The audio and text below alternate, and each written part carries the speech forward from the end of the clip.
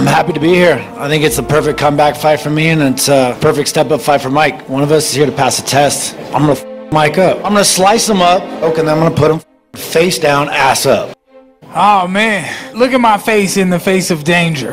I'm in some danger here, ain't I? The big guy is coming after me. I'm gonna get his ass though. I'm gonna protect myself. I'm gonna beat his ass. That's what I'm gonna do. I'm gonna beat your mother ass, dog.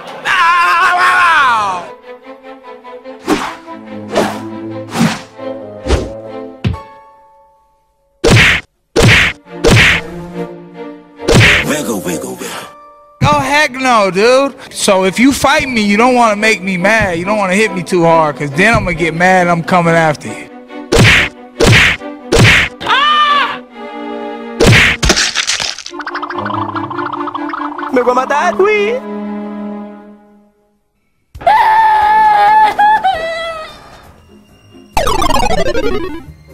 Oh, it's already over. Damn, that was easy. You quit. He gave up. He's done. He don't want it no more. They all don't want to believe in me. They all want to doubt me. Um, can I get a face off with Conor McGregor?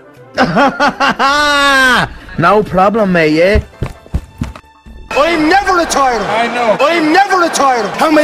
How am I? How am I at the showing up here already? And I've already got the belt. Come get it, baby. Come get the strap, It's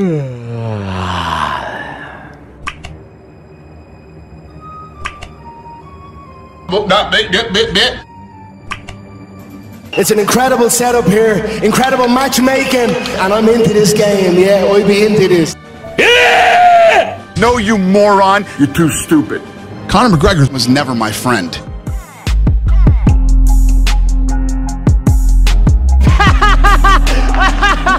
You're a virgin.